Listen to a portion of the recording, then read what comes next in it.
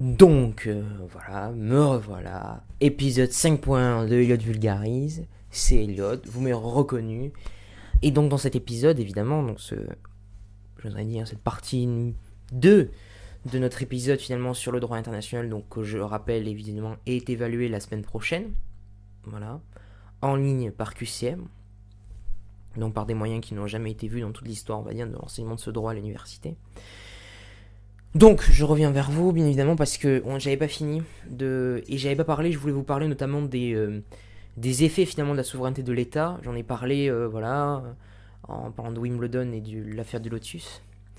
Mais, euh, mais je vais parler en plus des organisations internationales, parce qu'elles sont en passe quelque part de. ça va être provoquant ce que je vais dire, mais, mais je vais le dire. En gros, de remplacer l'État finalement dans, dans l'importance de Enfin, auparavant, finalement, le droit international, les sujets principaux, c'était les États. Maintenant, c'est de moins en moins vrai. Il y a de plus en plus d'organisations internationales pour régler une multitude de problèmes, d'où au principe de spécialité qu'on va en parler plus après des, organisations internationales. Mais bon, il faut jamais oublier que, euh, que les, quand même les, les sujets numéro un, c'est quand même les États, puisque ce sont les États qui euh, créent les organisations. Sans État, il n'y a pas d'organisation internationale. Enfin, c'est pas possible, ça marche pas. Donc, euh, donc on va en discuter aussi que c'est des, c'est une évolution assez récente, on va dire, euh, post-guerre mondiale, avec l'ONU, mais voilà. Bon. Euh, donc dans cette vidéo, évidemment, je vous avais parlé évidemment de la souveraineté des États. La souveraineté des États peut se limiter par finalement des engagements, donc c'est la peur de Wimbledon. Et évidemment, la souveraineté des États, comme je l'avais dit l'autre fois, peut évidemment se. Ne, ces fameuses limitations ne se présument pas. Il n'y a pas de présomption de limitation de la souveraineté de l'État, puisque comme euh, c'est un droit qui est absolu. Donc, alors je vais pas rentrer dans ça parce que ça a été remis en, cause, notamment avec euh, un type qui s'appelle, toujours, il est toujours vivant. Il a été ministre du président Sarkozy, Kouchner, il s'appelle Bernard Kouchner, qui avait créé euh, avec deux personnes, voilà, principalement, ce qu'on appelle le, le droit d'ingérence. Mais je vais pas trop rentrer dans les détails, mais c'était une théorie en vertu de laquelle euh, les États, euh, quand il y avait une, finalement une, un péril imminent, on va utiliser ce mot de péril imminent, qui est un peu le, le pendant des circonstances exceptionnelles en police administrative, en droit administratif, si vous voulez, c'est des liens. Et euh, enfin, la notion de péril imminent voudrait que, par exemple, des États utilisent justement leur souveraineté pour pouvoir aligner la souveraineté d'un État qui utiliserait mal sa souveraineté, c'est-à-dire, je sais pas, qui, qui enfermerait euh, des gens dans la population ou qui aurait euh, un truc qui ou par exemple voilà où il y aurait une famine et on devrait aider voilà. c'est pas c'est je vais pas rentrer dans les détails parce que c'est très compliqué et c'est surtout en fait que que ça a du mal à se concrétiser quand même donc comme je l'ai dit, je vais parler donc des effets de la souveraineté. Alors les effets de la souveraineté pour les États tiers, c'est-à-dire que qu'est-ce que procure la souveraineté Enfin, par exemple, je sais pas, vous avez des États et ces États finalement euh, côtoient d'autres États qui ont la souveraineté. Qu'est-ce que ça a une implication pour elles? Déjà, l'égalité souveraine, j'en ai parlé. L'égalité souveraine, c'est le fait finalement que leur leur euh, prérogative est tellement euh, exorbitante et tellement puissante, mais c'est de la puissance leur, leur prérogative. Eh bien, euh, bah, ils peuvent pas l'utiliser contre notre État théoriquement. Enfin, ils peuvent pas limiter la souveraineté de notre État. Non. Euh, aussi, euh, ça c'est quelque chose qui est nouveau que je vais traiter maintenant, c'est ce qu'on appelle les immunités. Les immunités sont des effets finalement de cette souveraineté puisque comme le comme l'État est finalement une personne morale qui est assez particulière puisqu'elle est dotée de ce droit qui est euh, ce droit subjectif dont elle peut se prévaloir qui est très qui est très particulier qui est vraiment un droit le plus absolu qui soit hein, très clairement. vraiment c'est du ouais c'est impressionnant c'est vraiment exceptionnel comme droit. Si vous, êtes souverain, vous, voilà, vous, vous, avez vous pesez vraiment lourd, quoi. Hein. très clairement, on peut le dire comme ça, on peut le dire de manière familière. Mais euh, voilà, non, non, et c'est, euh, et c'est ce qu'on appelle les immunités. Alors les immunités, en fait, elles ont été... Euh, c'est un traité, parce qu'avant elles étaient un peu coutumières, mais c'est en 1968, c'est un traité qui s'appelle la Convention de Vienne. Donc c'est une convention donc, qui prévoit finalement le champ de ces immunités. Et donc ces immunités, elles sont tout d'abord personnelles. Pourquoi? Parce qu'en fait, les immunités de l'article, euh, enfin, c'est l'article 27 et 29 de cette présente convention, en fait, qui prévoit dans certains cas, dans certaines personnes qui, qui, euh, représentent l'État dans le territoire d'un autre État, justement, donc de la mission diplomatique, mais les membres de la mission diplomatique, eh bien, ne peuvent pas euh, être, ont une immunité juridictionnelle, c'est-à-dire qu'aucun droit d'action d'un État tiers ne pourra être ne pourra être engagé contre eux. Pourquoi? Alors la, convention de Vienne nous dit en fait que c'est pour éviter, c'est pour que la mission diplomatique fasse pourquoi elle pourquoi elle est là, c'est-à-dire maintenir des relations diplomatiques entre deux États dans la meilleure de toutes les conditions. Il faut que c'était un peu le, mot du, du, professeur. C'était il faut que le, diplomate ait l'esprit léger, qui se promène dans le monde finalement en ayant l'esprit léger, qui ne pense pas finalement à ce qu'il peut au lendemain. Il n'a qu'une seule mission, c'est je sais pas, aller représenter l'État euh, qui représente justement, euh, voilà. Euh, en ayant, en ne, en ne réfléchissant pas, par exemple, à qu'est-ce qui va lui arriver s'il dit pas bonjour à l'hôtesse d'accueil à l'hôtel, voilà. Et voilà. Mais ce que je veux dire, quoi, hein, c'est pas possible. Alors, ça c'est l'immunité finalement des membres de la, de la donc c'est l'article 29 principalement on va voir qu'il y a des, ce qu'on appelle l'immunité. Euh, enfin, il y a eu des, aménagements puisque les membres de la. Enfin, je peux le dire maintenant, mais voilà, je vais le dire maintenant. Puis après, je vais aller sur l'immunité de l'État non, juridictionnelle, parce que il y a ce qu'on appelle aussi l'immunité juridictionnelle de l'État, c'est-à-dire que l'État stricto sensu, c'est-à-dire la personne morale de l'État, ne peut pas être euh, euh, poursuivi, finalement, j'oserais dire, c'est-à-dire on pas, notre État peut pas condamner notre État dans son système juridictionnel, dans son autorité judiciaire. Par exemple, je sais pas, une juridiction pénale française et on va, je vais vous donner un arrêt assez intéressant qui est très récent, hein, de 2020, je crois bien, en plus, de cette année, euh, de, du Mohamed Al-Sisi, donc euh, le président égyptien, notamment. Eh bien, euh, eh bien, on peut pas, on peut pas le poursuivre. Bon, ça c'est, encore autre chose. C'est-à-dire que par exemple, voilà, il y avait l'affaire Jones contre le Koweït, voilà, on la CEDH notamment. Bon, on peut pas condamner le Koweït pour voilà, pour des trucs, pour, euh, pour, pour ce que le Koweït aurait commis finalement. On peut pas, on peut pas assigner le Koweït, pas possible. Même si c'est une personne morale, on peut pas, parce que souveraineté. Voilà. Mais, euh, mais ça aussi, ça, ça pose la question, puisqu'en fait, Jones aussi, l'affaire Jones, je vais en parler maintenant, hein, c'est un peu le bazar ce que je dis, mais au moins je vous présente un peu la notion d'immunité vraiment très largement. Hein. Euh, ça, c'est ce qu'on appelle les immunités matérielles, et on va voir que c'est un aménagement assez intéressant. C'est que la, la CEDH a en plus donné une immunité euh, donc c'était une affaire de 2005, hein, j'en suis pas sûr, mais je crois que c'est 2004 ou 2005, Jones. Donc c'était un mec, euh, un travailleur, c'était un Royaume-Uni. Et donc c'était un Anglais, John, Monsieur Jones, Mr. Jones. Et donc il a été travailler au Koweït et donc il s'est fait torturer, enfermé en prison, tout ça.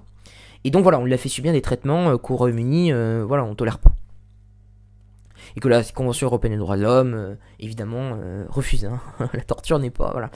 Euh, et en fait, la, CEDH en fait, a, dit tout simplement, a eu un, numéro d'équilibriste très intelligent, puisqu'en fait, ils ont dit oui, mais en fait, même si vous poursuivez en fait les mecs qui l'ont torturé, parce qu'on pourrait très bien poursuivre les mecs qui l'ont torturé, après tout, ils sont pas membres de la, bah, ils sont pas membres de la mission diplomatique, ils sont pas chefs d'État, ni ministres des Affaires étrangères. Je fais référence à Congo contre Belgique de 2002.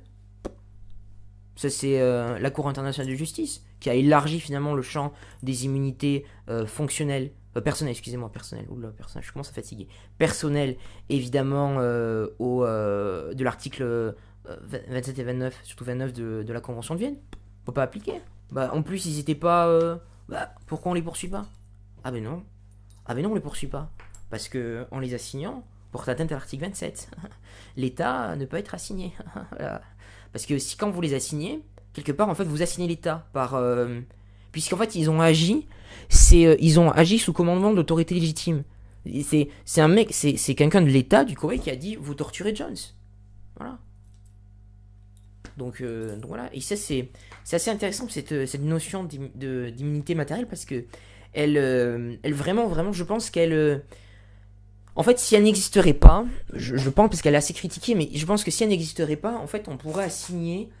Euh, je pense que oui, on pourrait assigner beaucoup. Enfin, beaucoup d'États se pourraient se faire assigner. La France pourrait se faire assigner. Euh, L'Amérique pourrait se faire assigner par des États dont, euh, dont la légitimité n'est pas forcément. voilà, par exemple, un État qui ne. Enfin, l'Amérique ne reconnaît pas. Les États-Unis d'Amérique ne reconnaissent pas un État. Bon, euh, grand bien leur en face, on l'a vu que la reconnaissance, on s'en fiche. Enfin, c'est que la souveraineté, en fait, dès qu'un État a le, finalement l'aptitude à exercer quelque chose, une souveraineté, eh bien, elle s'applique, à, enfin, elle, elle s'impose à tous les autres. Elle est inopposable, j'oserais dire. On peut pas, on peut pas, un État peut pas dire, ah ben non, je vous ai pas reconnu, ah ben non, vous n'avez pas de souveraineté. Bah, ici, on a une souveraineté, mon ami, on a un gouvernement indépendant, une population, un territoire, machin, voilà, voilà. Et, euh, et non, non, euh, c'est pour moi, pour moi quelque chose qui est assez critiqué. Je sais que c'est assez critiqué. D'ailleurs, euh, dites-moi ce que vous en pensez. C'est intéressant de faire des débats juridiques sur ça. Mais l'immunité matérielle, quelque part, pour moi, elle est indispensable. Elle est indispensable au bon fonctionnement. Bon, alors, c'est, la dixième minute et j'ai pas parlé des organisations internationales. Donc, j'ai un peu, un peu à la bourre. Donc, Alors je vous ai fait tout le sujet, donc voilà. Alors les arrêts assez intéressants, je l'ai dit, c'est euh, euh, République démocratique du Congo contre Belgique, donc ça c'est de 2002. Donc c'est l'extension finalement de euh, des voilà de, qu'on appelle ça de ben, des immunités personnelles finalement au, chef d'État et au ministre des Affaires étrangères. Et d'ailleurs truc drôle, c'est que il y a Théo Biang. Alors je sais pas si vous connaissez Théo Biang, alors qui était un possesseur de Bugatti Veyron notamment. Alors c'était un Guinéen. Euh, donc il était, euh, je crois, alors la Guinée est un État très pauvre, hein, mais bon, euh, ils ont une oligarchie dirigeante qui est assez, voilà, qui, qui, qui, aime bien utiliser le, système fiscal, on va dire, voilà, du trésor public, on va dire, de, ce beau pays qui est la Guinée, comme petit État africain. Et donc il habitait en France notamment, et la Cour de cassation en 2015 a dit en gros qu'en plus ils ont, euh, ils ont dit qu'il n'avait pas d'immunité personnelle, puisque en fait quand il se fait poursuivre pour euh, détournement de fonds parce qu'il payait pas ses impôts en France, enfin je sais pas quoi, il y un délire comme ça, et eh bien, euh, bien voilà, en fait la Cour de cassation a dit quand même il pourrait être condamné, en fait on pourrait, le, mettre en prison finalement, alors je sais pas s'il est en prison, monsieur Aubion, il faudrait voir, Théo Aubion il s'appelle. Donc alors, j'en ai pas parlé mais c'est très important, faut que je le fasse, c'est évidemment les... Alors ça c'est en grand deux finalement les comment on pourrait dire les euh, oui voilà les, le deuxième sujet le plus gros sujet peut-être mondial des du droit international et évidemment les organisations internationales. Alors par organisation internationale qu'est-ce qu'on a? On a évidemment alors je pense qu'il faut définir alors l'organisation internationale c'est une personne morale de la personnalité juridique donc apte à recevoir des droits et pour les exercer. Voilà c'est la définition un peu voilà. La personne morale bah, c'est un ensemble de personnes et de biens voilà. Elle a des biens hein. il, il, y a des organisations elles ont des biens voilà elles ont des biens des fois immeuble, des fois meuble, je sais pas, un ordinateur portable, euh, euh, je sais pas, un smartphone, je ne sais pas, mais voilà, ou des, euh, ou des systèmes médicaux, je voilà, des choses comme ça, ou des bâtiments, ou des, des documents, voilà, des ordinateurs, enfin je l'ai dit, des, cartes mémoire, tout ça. et qui, évidemment, ces organisations internationales, ces personnes morales sont, sont instituées par un traité, donc au moins par une émanation de volonté d'un État, au moins, voilà, c'est ça. c'est en, fait, un État peut au moins créer une organisation internationale ça qui est assez drôle, c'est-à-dire en fait, il peut créer une organisation internationale, il peut déléguer, mais de manière complètement, enfin, je sais pas si vous voyez le délire, c'est, il peut, euh, enfin, ça paraît, ça paraît quand même particulier, mais c'est jouable en vrai. On peut, la France pourrait créer un, État, enfin, une organisation internationale qui serait, je sais pas, euh, euh, je sais pas, l'armée française, je sais pas, donnerait la compétence, pas, militaire de, il pourra aligner sa souveraineté de militaire, je voudrais dire, donc sa souveraineté finalement de disposer de forces armées, la donner à une, organisation internationale, et sous un traité finalement un engagement de volonté qui est complètement individuel, hein, et dire euh, voilà, euh, euh, on vous fixe un règlement, vous pouvez évidemment autoriser d'autres États membres, je sais pas, un droit de veto français, avec je sais pas un référendum, enfin je sais pas, un, truc vraiment, voilà. Et, donc comme je le dis, finalement ces organisations internationales, elles sont on les affecte finalement une mission particulière. Elles réalisent des missions sur l'espace, sur euh, la scène internationale qui leur sont particulières. C'est le principe de spécialité des, des, des, des, des OI, des organisations internationales elles ont ce principe de spécialité est pour moi fondamental. Les organisations internationales ne sont pas des États, elles ne, elles n'ont pas de souveraineté. C'est ça qu'il faut bien comprendre. Elles n'ont pas de souveraineté, donc ça veut dire en fait que leur compétence n'est pas illimitée. Leurs compétences dépendent finalement de la souveraineté d'États qui se sont dit ah ben c'est mon niveau, c'est de ah ben euh, voilà, j'ai envie, voilà moi souverain, j'ai envie de, créer de créer une organisation internationale qui va euh, ben, voilà faire euh, le bureau des poids et des mesures. Voilà, ça c'est la toute première au monde. Hein. Alors elle, elle date, je sais plus de quand. Alors peut-être attendez que euh, alors c'est vraiment du direct de direct, hein, je suis vraiment désolé, mais euh, attendez. Voilà, on va faire... Euh, alors pbcim.org, un truc comme ça. attendez. Donc c'est bureau des points et mesures.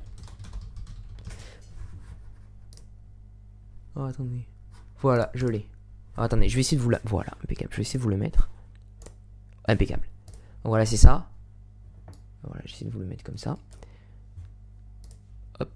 Et donc voilà, donc c'est cette OI, donc on voit c'est une organisation internationale. Et c'est la plus vieille au monde. Et ils ont. Euh, et je crois en fait, ils ont des, euh, des systèmes de. Euh, alors, on va me revoir.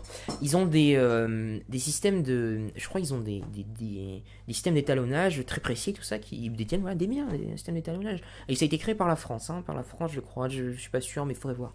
C'est assez intéressant. Alors les OI ont évidemment un grand, euh, un rôle prépondérant après la Seconde Guerre mondiale, qui est évidemment du maintien de la paix. C'est l'ONU, c'est la plus grande au monde, hein, très clairement. Tous les États de la planète y sont dedans, hormis évidemment le Vatican. Le Saint-Siège n'y est pas. Voilà, le Saint-Siège est un membre observateur. Euh, on va dire dans tous les États qui sont reconnus, parce qu'après tous les petits États qui sont pas reconnus, la Transnistrie, la Palestine, euh, voilà, des États comme ça, quoi. La, Palestine, la Transnistrie, la, Rodanie du, Nord, du Sud, pardon, le, Haut-Karabakh, enfin tous ces États-là, voilà, je sais pas, bah, la Crimée, bon, la Crimée n'est même plus souverain aujourd'hui, mais voilà. Et, voilà, donc on peut dire aussi que, voilà, je l'ai dit, c'est des véritables sujets du droit international. Pourquoi? Parce que finalement, tous les actes en fait qu'ils prennent sont régis par des normes internationales. Ils ont des fois, par exemple, l'Union européenne, l'article 240 du traité du fonctionnement sur l'Union européenne euh, donne à l'Union européenne finalement des compétences, euh, un pouvoir à la Commission européenne, donc qui est un organe, voilà, euh, une compétence d'initiative législative, c'est-à-dire qu'elle peut influencer à travers ce qu'on appelle le monisme. Ça c'est une, conception finalement de, j'oserais dire, c'est-à-dire en fait qu'on considère que l'organisation internationale, grâce à ce traité, peut, créer un ordre juridique. Il y a des normes, une hiérarchie des normes. Des fois, il y a des constitutions, voilà. Il y a le traité qui peut servir de constitution qui fixe finalement le fonctionnement, le régime, pardon, le régime, etc. Et, euh, et finalement, voilà, il y a une forme de hiérarchie des normes, un peu à la théorie de kelsenienne du droit, euh, euh, très législatrice, très voilà, non, non, c'est, il y a même des juridictions, bah, la Cour de justice de l'Union européenne, le Tribunal de l'Union, bon, plus trop maintenant parce que, enfin, il y a les deux maintenant deux juridictions, parce qu'il y a deux juridictions dans l'UE, il y a le Tribunal de l'Union et la Cour de justice de l'Union européenne. Et, et non, voilà, enfin, c'est il faut bien comprendre en fait qu'il y a vraiment une constitutionnalisation, mais il y a ce principe de spécialité. Par exemple, l'Union européenne ne peut pas créer, euh, je sais pas, euh, la règle, le règlement euh, directive, composé, attaché, ou la loi, ou, ce qu'on appelle un, un, réglementaire qui pourrait s'appeler la loi. Non, la législative plutôt. Ils sont obligés soit de prendre directive ou soit règlement, voilà. Et avec un régime très particulier, dont la directive, c'est une transposition le droit national des États la directive doit être transposée et euh, s'il n'est pas transposé, c'est une carence fautive des États et la Cour de justice de l'Union européenne peut condamner les États sous le fondement évidemment du traité dont les États sont engagés à réduire leur souveraineté donc à payer de l'argent s'ils n'appliquent pas, je sais pas, la directive 2020 09 44, je sais pas quoi. Enfin, je sais pas si elle existe, elle doit exister, mais, euh, voilà. Euh, et voilà, donc et le règlement, voilà, s'applique à travers une procédure législative dont les États ont leur part à travers ce qu'on appelle le Conseil de l'Union européenne, qui est la, représentation finalement de tous les ministres euh, des pays de l'Union européenne qui euh, négocient entre eux le Parlement et la Commission, qui disposent seuls de l'initiative législative. On le verra, c'est d'ailleurs potentiellement un gros problème. Parce que c'est que les députés européens n'ont quasiment aucun pouvoir. Ils votent ils votent en fait, ça s'arrête là. Et euh, c'est que en fait la commission a énormément de pouvoir, la commission européenne, parce qu'elle a l'initiative législative. C'est-à-dire que c'est que elle qui peut enclencher la, procédure législative pour réviser une directive, pour émettre un nouveau règlement, et sachant que ce règlement va s'appliquer de manière moniste, c'est-à-dire en fait que on considère que l'ordre juridique finalement de l'Union européenne est euh, marié, j'oserais dire marié, c'est une, c'est un régime de communauté universelle, euh, n'est-ce pas hein, voilà, et marié finalement à voilà, à l'ordre juridique évidemment de, des États, donc de la République française, de la République fédérale allemande, du Grand-Duché de Luxembourg, euh, euh, voilà, du Royaume du, Danemark, euh, je sais pas, voilà, et même de par exemple de la Suisse dans certains cas, de la Confédération helvétienne. Voilà, non, non, c'est Bon, euh, ça partait un peu en vrille ce que j'ai dit, tout ce que j'ai dit, mais honnêtement, j'ai, c'est vraiment en live que je fais ce truc. J'ai, évidemment préparé les arrêts de, quoi je vous parlais, tout ça. Mais, euh, mais honnêtement, je pensais pas, genre, vous parler de tout ça. Bon, bah, ça dure 20 minutes. Je suis vraiment désolé si en plus, euh, genre, je vais modifier parce qu'on voit des trucs que j'ai pas envie de voir, donc vous voyez du moins, puisque la vidéo va être diffusée, tout ça. Mais bon, je suis un peu désolé, c'est un peu le bordel, mais, mais bon, j'essaie vraiment de vous faire un truc qui montre en fait que ça m'intéresse surtout et que il faut aussi avoir, je pense, une vision de ces matières-là. Et surtout dans ces QCM, en fait, on peut apprendre, euh, enfin, faut, faut pas faire ça, mais faut apprendre le plan du cours, évidemment. Voilà, faut, faut bien apprendre toute la structure du cours. Mais ça, c'est dans une optique vraiment euh, très, euh, voilà, hein, sans Covid-19, hein, sans la Covid-19. Voilà. Et donc, c'est une optique où on va en cours et on a finalement un devoir sur table, tout ça. Enfin, un devoir, enfin, un examen, quoi. Mais là, c'est pas vraiment le cas. Du coup, euh, évidemment, on doit, euh, voilà, on doit apprendre comme on peut et surtout, euh, voilà. Et donc, je pense qu'avoir des formes de, vidéos comme je vous fais un peu, voilà, un peu dans le truc là, un peu en freestyle, hein, un peu du freestyle, pas du rap, hein, moi c'est du droit, voilà. Mais, mais, voilà, ça peut être vraiment intéressant. Bon, voilà, je vous remercie, j'ai beaucoup trop parlé, je suis vraiment désolé. Voilà, dites-moi ce que vous en avez pensé, je vous remercie de votre écoute. Voilà, je vraiment, j'ai, ça se voit que je suis passionné par cette, par cette matière, c'est très intéressant. Voilà, je vous remercie. À la prochaine. Euh, je continue évidemment le droit international. Allez, merci.